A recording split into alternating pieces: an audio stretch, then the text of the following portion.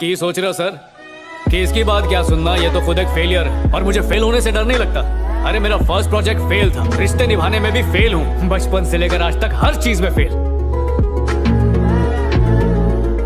पर इन सब चीज़ों से मेरा हौसला कभी टूटा नहीं है योर ऑनर बल्कि फौलाद की तरह मज़बूत हुआ है। Failure is the best teacher दुनिया का सबसे महान बल्लेबाज सचिन, दसवीं फेल सबसे बड़े उद्योगपति धीरू भाई अंबानी, वो भी फेल हुए थे।